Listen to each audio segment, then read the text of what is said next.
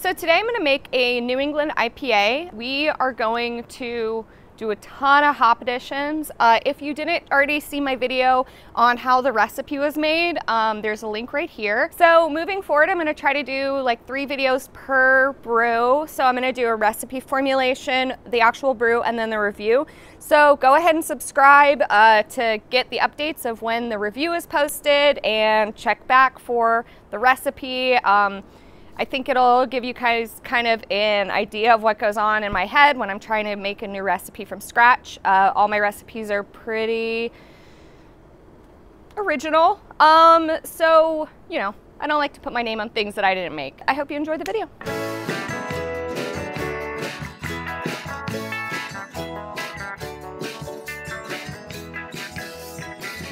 Okay, so we're using RO water today. I'm gonna throw in seven gallons and um, I'm also gonna throw in my water additions while I'm here. Um, it is so hot and these uh, water jugs have been out here for a while. So hopefully they're pre-warmed. Oh, this lid is so hot I can barely touch it.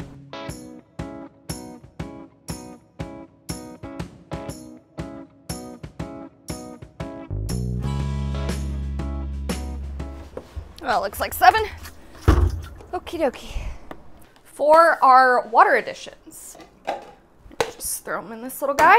Um, so we are doing the Hoppy NEIPA profile in Brewfather. Check out my video before this to kind of get an idea of how I built this recipe and how my brain works, kind of. We settled on 8.1 grams of calcium chloride, 2.8 grams of Epsom salt, 2.8 grams of gypsum. This scale does not read point grams, so we're just gonna round up or down. So I'm gonna do 8 grams of calcium chloride. Oh, and I'm starting with RO water. So I'm basically starting at zero. So I've got to build the whole profile by hand. So three grams of gypsum, and three grams of Epsom salt.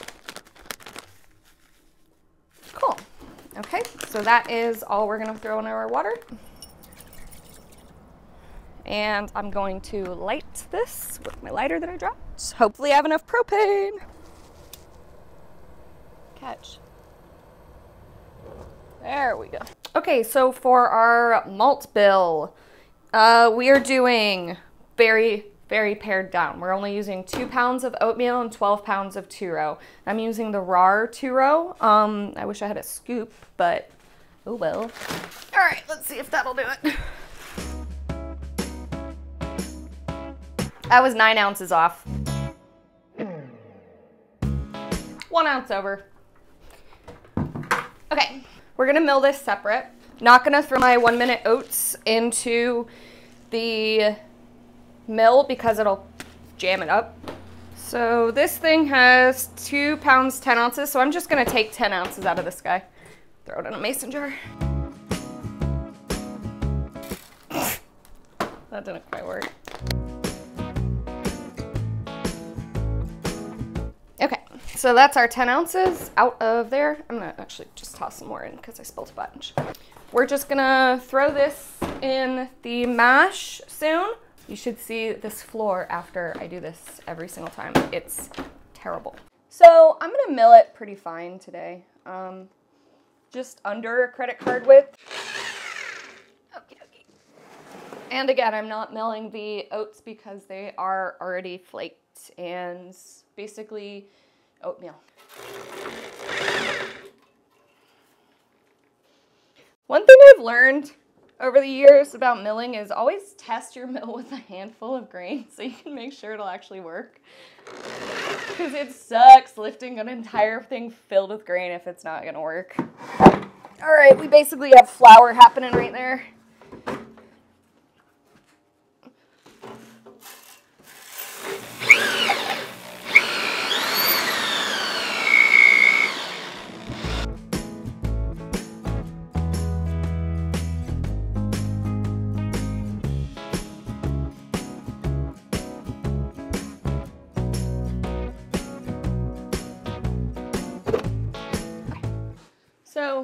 Floury. Okay, so we've hit our strike water temperature. We're at about 159. Um, hot, hot, hot. Alrighty. Our malt bill on this is 12 pounds of two row and two pounds of um, quick oats. That's it. Isn't that fun? I love it. It's gonna be super light. Okay, so I'm just gonna go ahead and throw my oats in first because why not? Literal Quaker oats. And now it smells like oatmeal. And 12 pounds of two row.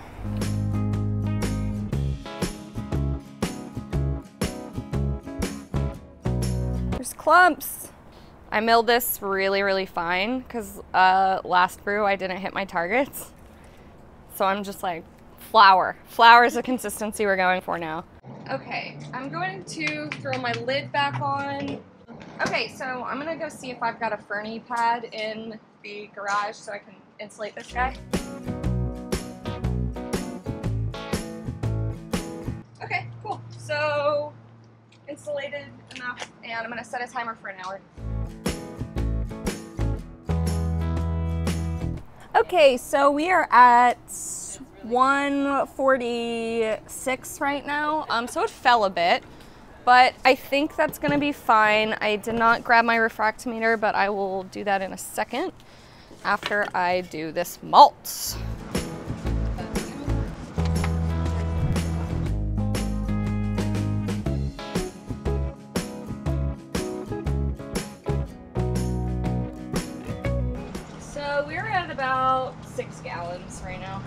Ew, it's so, like, look at this. So this um, brew is super light in color. It's like nothing. Um, I hope we are gonna hit our OG, or our pre-boil at least.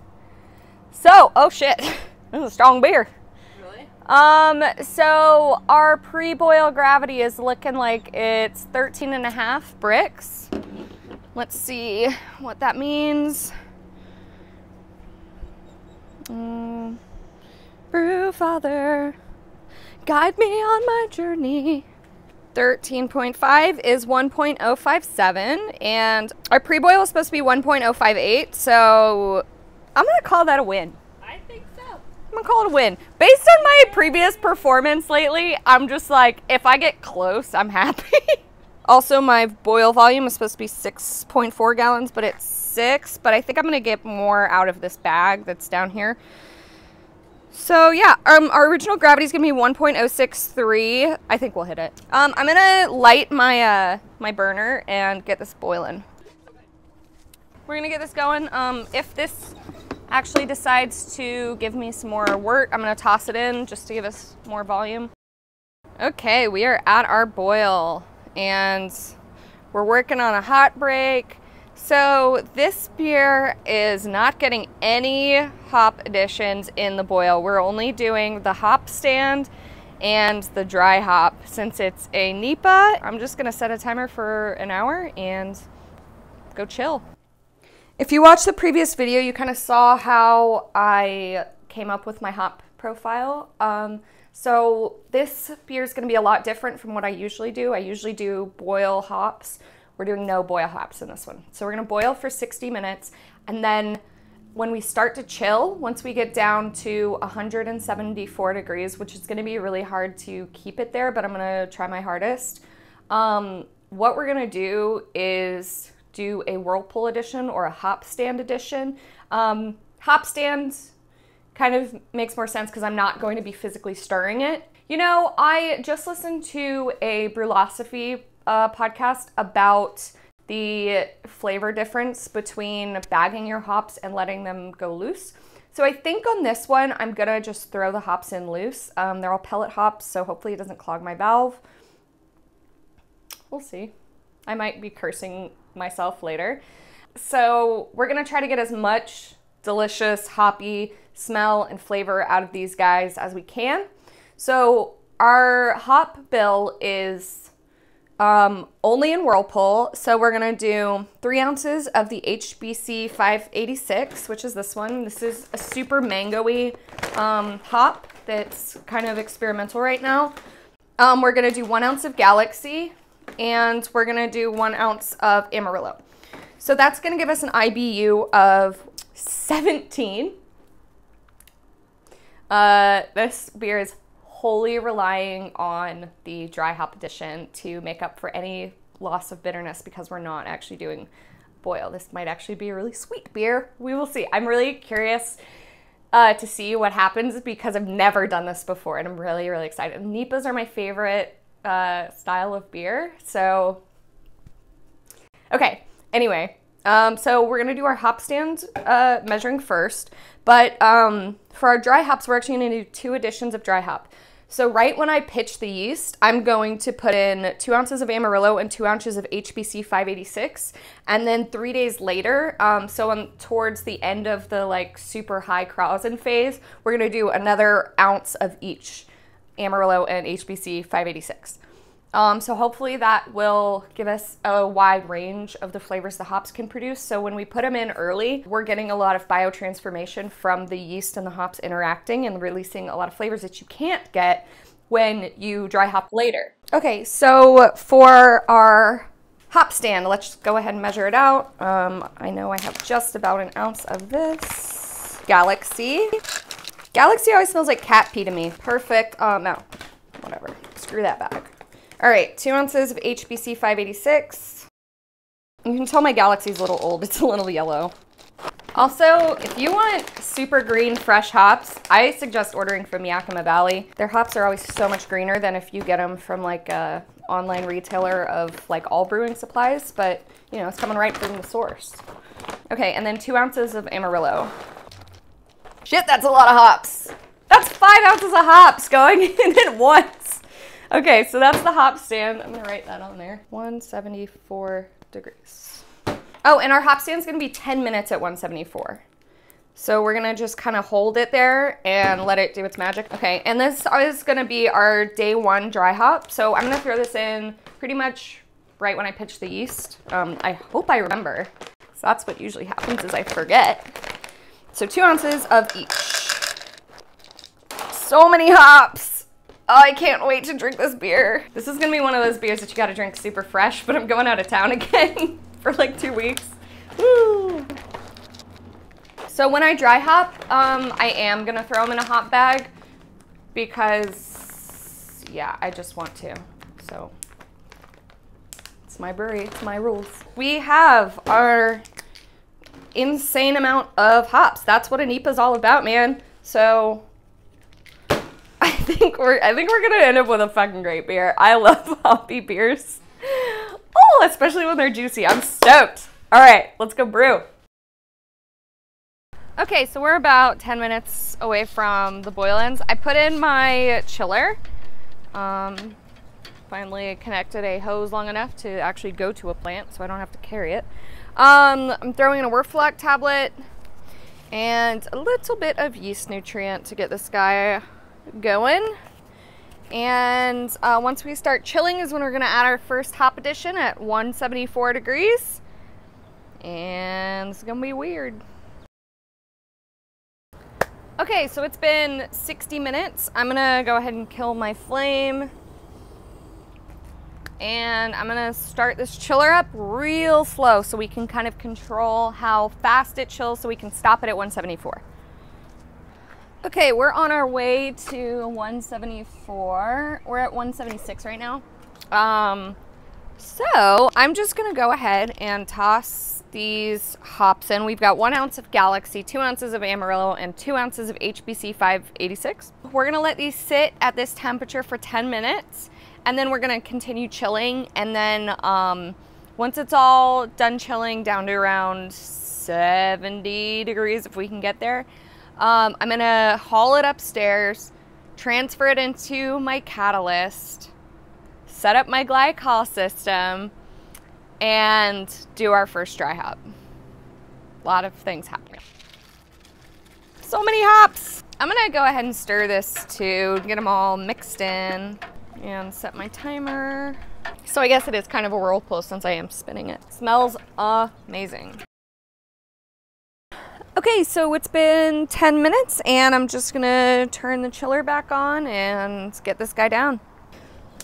Okay, so this is at around 80 degrees or so. Um, I'm just gonna go ahead and throw it in the catalyst and uh, put the glycol chiller on to 65 and let it sit for a few minutes to cool down for the yeast pitch. Um, so now what I'm going to do is take a solo mission up my stairs with five gallons of wort in a pot. Wish me luck.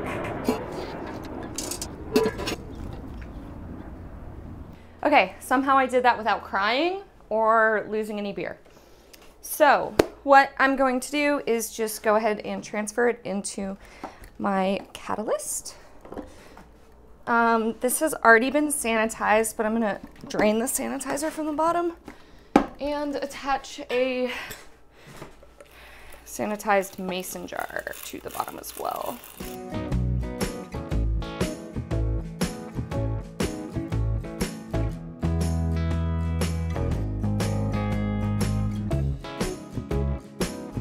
Okay, so this has the chilling coil in it, as you can see. And I'm gonna go ahead and turn on this chiller and make it 65 degrees. It smells so good. This is probably the best smelling beer I've ever made. So I'm gonna toss my hops in here and I just realized it that that means I gotta open the lid, unfortunately. But this is our two ounces of Amarillo and two ounces of HBC 586 that we're gonna do in dry hop. So I'm gonna just gonna loosely tie this so they have room to expand. And I guess I'll open this super sanitized fermenter, unfortunately.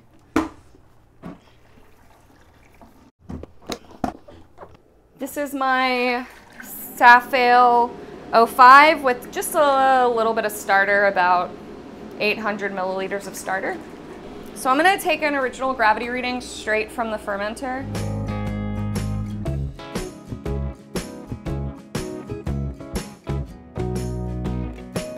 Okay, so we got 16 Brix for our original gravity. That seems a little high. I think we were supposed to get 15.1 Brix for it to be 1.064. So we might have overshot that a bit. I'm gonna throw this guy back in so we can put our temp probe. So once this is down to 65 degrees, I'm gonna go ahead and pitch my yeast. Okay, so it is at about 72 degrees. I'm gonna go ahead and pitch the yeast. It'll just keep getting colder until it hits 65. So, you know, will be fine. Um, wardrobe change, it's been a minute. and going to go ahead and sanitize this funnel so we can actually get it in there if I can get this to stop spraying everything. And this is Safale 05. Okay, so we're just gonna let this hang out.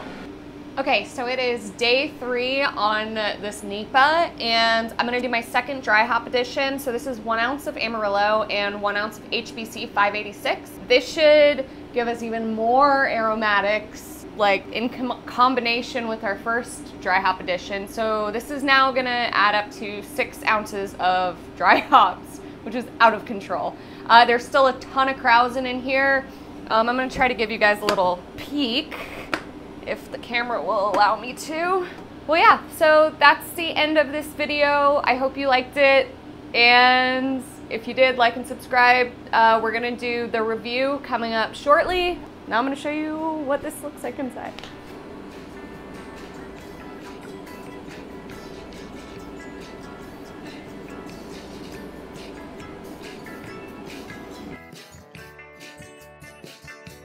We let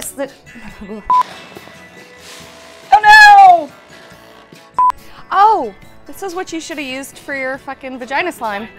This is just sugar water. It's it's oatmeal is what's really doing it. So that's you know that's what we use, right? We use oatmeal water. Really? That's basically what this is. That's awesome. So this what it, this is literal vagina slime. Oh God, Should be. Your vagina slime? Um, I'm sure that'll go over super well.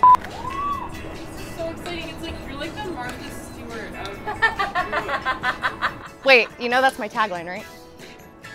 Oh my god, I thought you. Yes!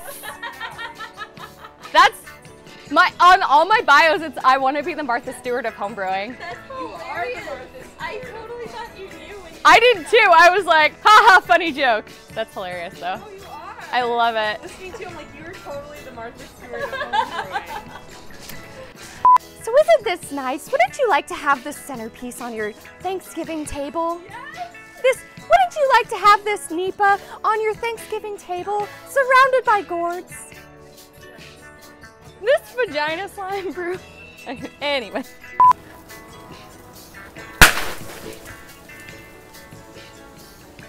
Fuck.